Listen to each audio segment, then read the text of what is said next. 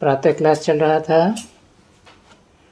छब्बीस, ग्यारह, उन्नीस सौ अड़सठ मंगलवार को तीसरे पेज के एकदम मध्यादि में बात चल रही थी।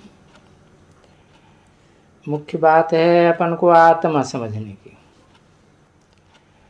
और साथ में मुझे याद करेंगे तो तुम्हारी आत्मा प्योर बन जाएगी।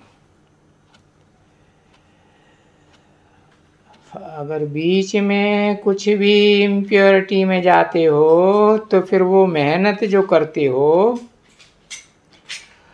और यूँ जो एक दफ़ा भूल करने से उनका एक गुणा ही वो दंड मिल जाता था। वो तो भक्ति मार्ग की बात है। अभी वो बाबा का बनने के बाद फिर तो वो नाम बदनाम हो जाता है ना। तो देखो, गाया भी जाता है, सदगुरु का निंदक ठहर न पावे। अथवा कोई भी उल्टा सुल्टा काम करने वाला, वो ठहर नहीं पाएँगे। जो कर्मेंद्रियों से कुछ भी उलट काम करेंगे।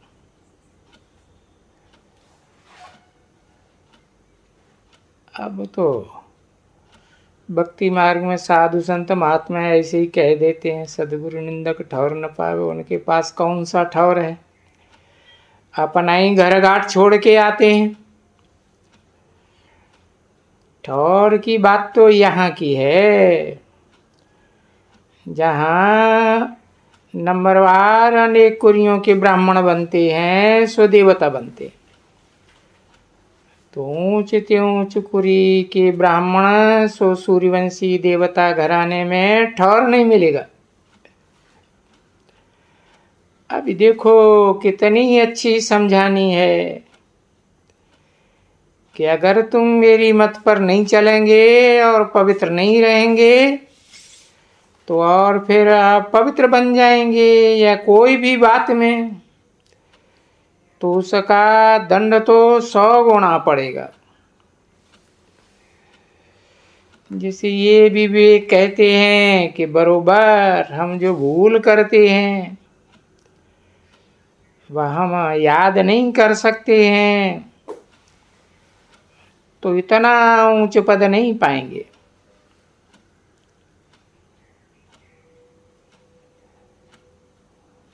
तो ऐसे नहीं कहते हैं। कि नहीं, पुरुषार्थ। पुरुषार्थ के लिए टाइम लगता है। तो ये तुम बच्चों को टाइम मिला हुआ है। और मैं आता ही हूँ, और उसके लिए टाइम भी पूरा कोई पूछते हैं। तो उस टाइम की क्या साबिती है? तो तुमको साबिती भी दे सकते तुम भी दे सकते हो कि जिस तन में, जिस तन के हम बच्चे कहते हैं, ब्रह्मा कुमार कुमारियाँ, और वो ब्रह्मा कुमार कुमारियाँ भी तो मनुष्य हैं ना। और जिसके बच्चे हैं, बाप के, प्रजापिता ब्रह्मा के तो वो भी मनुष्य हैं। मनुष्य का नाम है और शिव बाबा का कोई मनुष्य का या देवता का नाम तो है नहीं। वो तो न मनुष्य बनता है, न देवता बनता है। वो तो सुप्रीम आत्मा है, ऐसे उसको कहेंगे। फिर सुप्रीम होने के कारण उनको परमात्मा कहा जाता है। तो वो तो आते ही नहीं हैं। और आते भी हैं तो नीचे ऊपर तो होते ही नहीं है। न पतित होते हैं, न पावन होते हैं। तो वो बैठ करके समझाते हैं। बहुत अच्छी तरह से बच्चों को कि मुझे याद करने से तुम्हारे ये जो पाप हैं जन्म जन्मांतर के और ऐसे जन्म के भी वो सब कट जाएँगे। अगर बीच में कुछ पाप करेगा तो वो पाप सौ गुना बन जाएगा। और उससे फिर क्या होगा? तुम्हारा पद कमती हो जाएगा। अब ये तो बच्चे समझते हैं, खुद ही अच्छी तरह से समझते हैं। क्योंकि को कोई जानवर बुद्धि तो नहीं है। फिर भी बुद्धि तो मनुष्यों की है। और मनुष्य बुद्धू को ही बैठ करके बाप समझाते हैं। कोई जानवरों के लिए तो नहीं समझाते हैं कि तुम सतो प्रधान थे। और अभी तुम तमो प्रधान बने हो। अभी सतो प्रधान बनने के लिए मुझे याद करो। तो ये सब बात तो मनुष्यों को बैठ करके समझाते हाँ। इतना ज़रूर है कि मनुष्य की जो बुद्धि है, वो अभी जानवर से भी बदतर हो चुकी है। अभी उनको फिर समझाने के लिए, क्योंकि जानवरों को भी तो देते हैं ना। कहते हैं, तुम गधे हो, तुम तो ऊँट हो, तुम मकाना हाथी हो, बंदर हो तुम तो कुत्ते हो। ये तो ये सभी बहुत बच्चे हैं। उनमें चाहे साहूकार हो, गरीब हो, कोई भी हो। ये उनके मुख से ये गालियाँ निकलती ज़रूर है।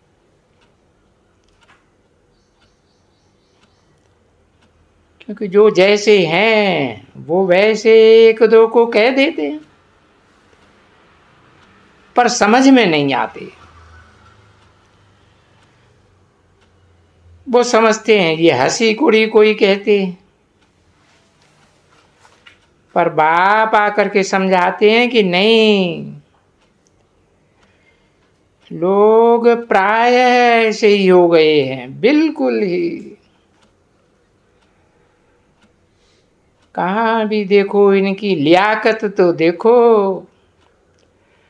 और मत्था टेकने वालों की और क्षमा मांगने वालों की हाँ। और फिर रहम मांगने वालों को भी तो देखो। है तो सही ना। तो ये भी बच्चों को वंडर ही लगते हैं। क्या हम ये थे? और इतना नीचे गिरे हैं चौरासी जन्मों के अंदर, जो बिल्कुल ही चट्ट खाते में चले गए। तो देखो, पतित और पावन का फ़र्क बाप दिखलाते देखो, अब क्या हो गए? समझाते हैं मीठे बच्चों देखो कैसा प्यार से समझाते तुम ये दैवी घराने के थे। अभी ऐसे नहीं कहते हैं कि तुम सभी यही थे। जो तुम यहाँ भी कहते हैं कि हम तो सभी यही बनेंगे। बोलो। ये लक्ष्मी नारायण जैसे तो सब बन ही नहीं सकते। हैं क्यों? क्योंकि अपनी चाल को भी तो देखो कि तुम बन सकते हो। औरों को भी तो देखो। तो कोई बन सकते हैं कभी भी। अगर ऐसे हो तब तो कहेंगे कि फिर सभी फूलों का बगीचा।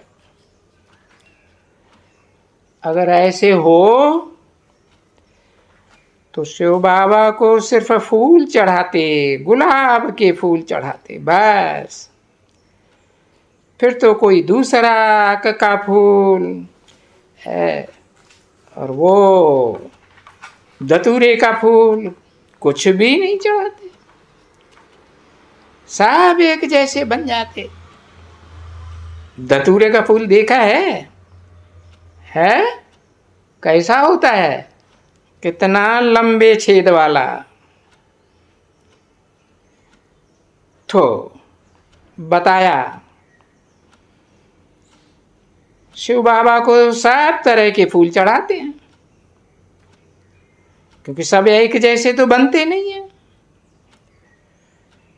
पर यहाँ तो गाया जाता है कि फूल भी चढ़ाते हैं तो अक भी चढ़ाते हैं, अर्थात बाबा के बच्चे फूल भी बनते हैं तो अक भी बनते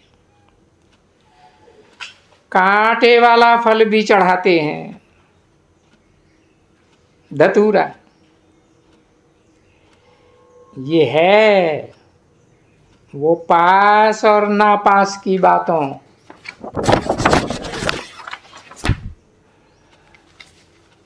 बातों की बात। ये ये दृष्टांत देने के लिए बातें हैं। छब्बीस, ग्यारह, उन्नीस सौ अड़सठ की प्रातः क्लास का चौथा पेज। तो बरोबर। और ये भी है, ज़रूर बनना है ऐसा। नंबर बार पुरुषार्थ अनुसार क्योंकि ये बाप ने समझाया है और बच्चे भी समझते हैं कि ये तो पूरी राजधानी स्थापन होती है। ऐसे इसमें तो सब तरह के चाहिए। और वो तो खुद ही समझते हैं ये ये जो पढ़ते हैं, ये कोई राजाएँ नहीं बनेंगे। ये कोई को आप समान बनाते ही नहीं हैं। ये तो ज़रूर समझते हैं कि हाँ या तो ये साहूकार होगा। अब ये साहूकार बनेगा, वो तो बाप जाने। तो बच्चे तो अभी नहीं जान सकते हो, परंतु हाँ आगे चल करके तो तुम बच्चे बहुत समझ जाएँगे। कि ये फलाना कैसा बाप का मददगार है? है ना? मनसा, वाचा, कर्मणा, किस तरह का मददगार है? तो हर एक को अपना मनसा, वाचा, कर्मणा का पोता मिल तो होता ही है। तो वो तो करेंगे भाई, ये बाप जानते हैं अच्छी तरह से। कि ये जो कोई भी हैं, जो भी बच्चे जिन्होंने कल्प कल्प जो कुछ किया है, वो ही तो करेंगे। उसमें भी कोई फ़र्क नहीं रहेगा।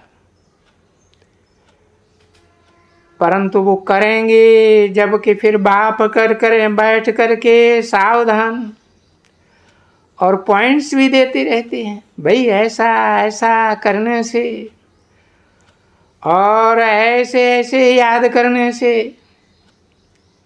याद करना है और कुछ ट्रांसफ़र करना है। है ना बच्चे? तो उसका भी तो दृष्टांत तो है ना, बच्चों के आगे।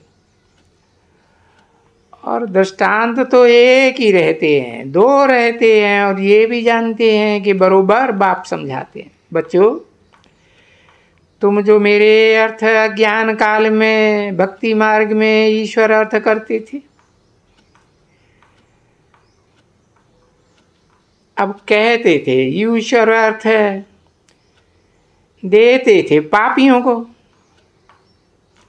समझा ना? पीछे ईश्वर का नाम रख दिया। कोई पा परमात्मा अर्थ है। और परमात्मा को जानते ही नहीं है। कि आत्माओं में परम पाठधारी आत्मा, कौन सी आत्मा है?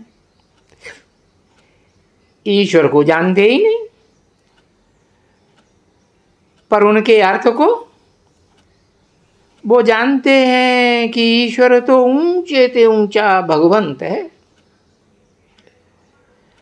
अब ये ऐसे कभी नहीं कहेंगे कि ऐसा कोई नाम रूप वाला ऊँचे ते ऊँचा है? ये तो कह ही नहीं सकेंगे कोई भी। क्योंकि चित्र भी सिर्फ़ साफ़ दिखलाते हैं कि ऊँचे थे ऊँचा भगवंत और वो निराकार है। फिर ऊँचे थे ऊँचे साकार में अगर आवे और वो भी यहाँ ऊँचे थे ऊँचा। क्योंकि उसकी पूजा भी तो यहाँ ही होती है ना। मेरी तो पूजा नहीं होती ना, न मैं पूज्य बनता हूँ, न पुजारी बनता हूँ। तो देखो, जिसे कहते हैं ऊँचे थे ऊँचा हाँ और ऊँचे थे, ऊँचा तो इस दुनिया की ही बात है, ऊँचे थे, ऊँचे, नीचे की नीच। तो ऊँचे थे, ऊँचे, शिव की पूजा होती है। शिव माना ही कल्याणकारी। तो ज़रूर निराकार है। निराकारी स्टेज में है। उसको ही कहा जाता है। वो नीचे उनको कहा जाता है, ब्रह्मा, विष्णु, शंकर। जो नीचे है है? त्रिमूर्ति शिव के नीचे है ना? है? उन ब्रह्मा, विष्णु, शंकर को देखो, देवता कहा जाता है। कोई को भगवान नहीं कहा जाता है ना? कहते हैं, परमात्मा नमा। उनको कहते हैं, देवताएँ नमा। कहते हैं ना, शिव परमात्मा नमा। तो देखो, परमात्मा तो बड़ा हुआ ना।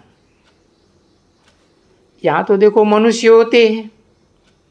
देवताएँ भी होते हैं, मनुष्य भी होते हैं। जो कहते हैं, हम ईश्वर हैं।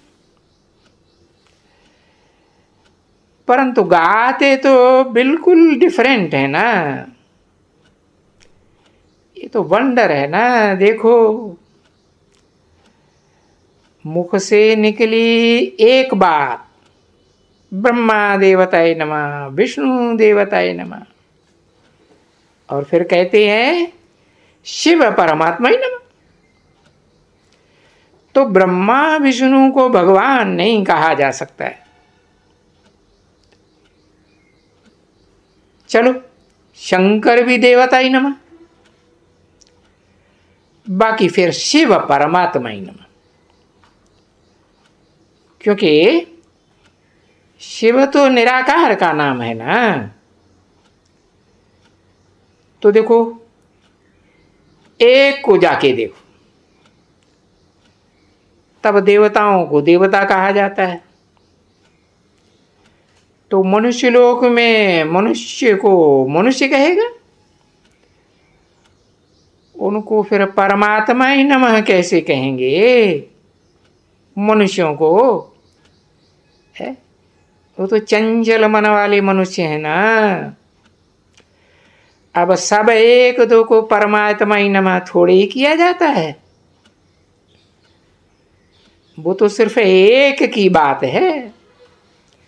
और सारा पुरुषार्थ पुरुषार्थ के ऊपर मदार है। अगर कहें सर्वव्यापी है तो फिर एक दो को परमात्मा ही नमा कहे ना। ये तो अरे ये तो बिल्कुल है ही अज्ञान। है? सर्वव्यापी का ज्ञान। ईश्वर को सर्वव्यापी समझना, ये तो बिल्कुल ही पूरा ज्ञान। इसको इंसल्ट कहा जाता है। और उसी को कहा जाता है। ये जो गाया हुआ है, अंधेर नगरी चौपट्ट राजा टके सिर भाजी टके सिर खाजा। तो राजा ही भी तो रही है ना यहाँ। है। तो राजाओं की भी बुद्धि में अभी भी वो राजाएँ नहीं हैं। कल तो थे ना। तो उनकी बुद्धि में भी तो ये गाया हुआ है ना कि ईश्वर सर्वव्यापी है। अब ये बात उनकी बुद्धि में किसने डाला? ये मनुष्यों ने ही डाला। मनुष्यों ने कहा पढ़ा है? मनुष्यों ने गीता में पढ़ा हुआ है। गीता की टीका टिप्पणियों में पढ़ा हुआ है। वो कहते हैं, सारी टिप्पणियों में ये लिखा हुआ है। गीता में।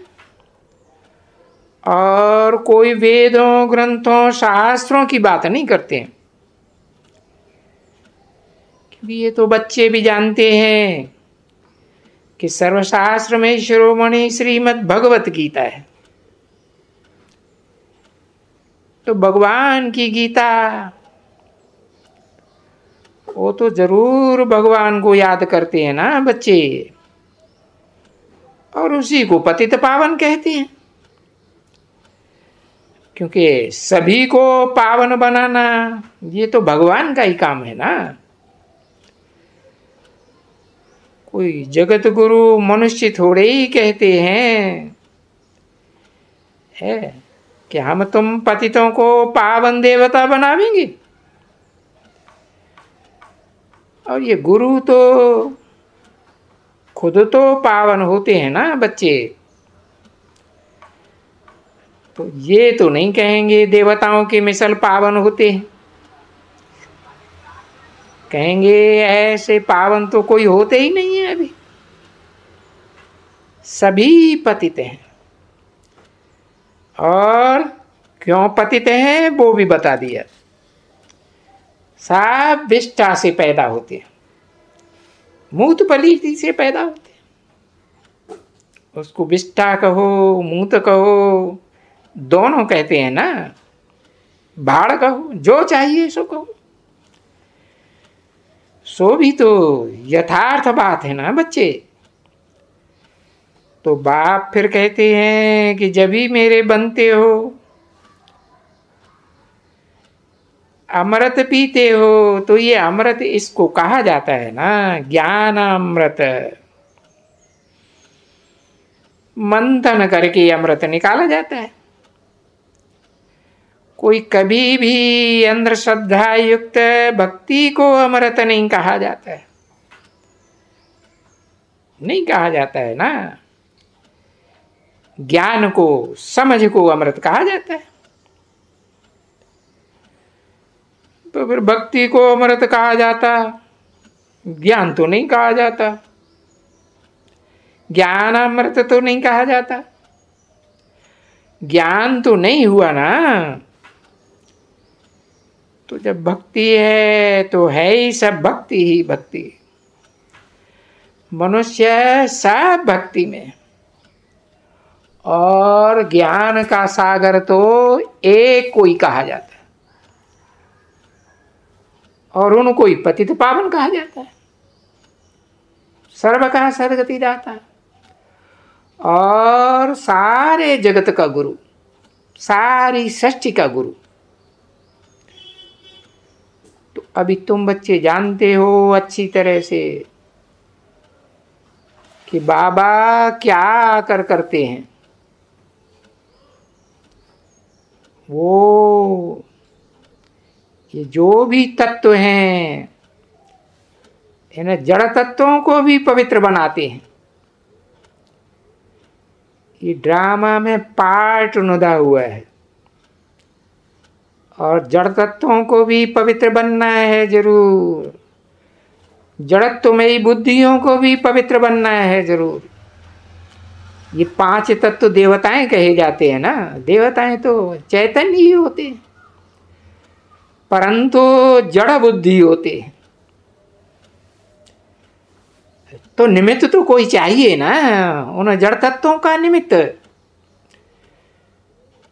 तो बाप निमित्त बनते हैं कि सर्व का सदगति दाता सब तत्वों की सदगति। तो अभी ये समझावे कैसे? देखो कितने आते हैं। आगे जब आते थे, इनाग्रेशन करने के लिए उद्घाटन करने के लिए, खोलने के लिए। तो उनको तारें दी जाती थी। वो पोप भी आते थे, तारें दी जाती थी। अभी जो उद्घाटन करते हैं, उनको समझाने के लिए तारें की जाती हैं कि भाई इनको समझाओ। कि हो वनहार विनाश के पहले अपने बाप का जन्म सिद्ध अधिकार ले लो? ओम शांति।